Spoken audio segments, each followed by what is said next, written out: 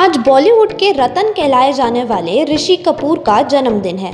आज उनकी birth anniversary पर जहाँ उनकी वाइफ नीतू सिंह और उनकी बेटी रिधिमा कपूर ने उन्हें याद करते हुए उनकी ये तस्वीर पोस्ट की, वहीं उनके फैंस भी उन्हें सोशल मीडिया के ज़रिए बर्थडे विशेष देते दिख रहे हैं। लेकिन दुख की बात यह है कि वो आज हमारे बीच मौजूद नहीं हैं। उनके फैंस जहाँ सोशल मीडिया पर उनकी तस्वीरें पोस्ट कर रहे हैं वहीं हमारे स्टार्स भी बॉलीवुड की अपकमिंग फ़िल्म शर्मा जी नमकीन का ये पोस्टर शेयर कर रहे हैं। दरअसल फ़िल्म शर्मा जी नमकीन में ऋषि कपूर नज़र आने वाले थे।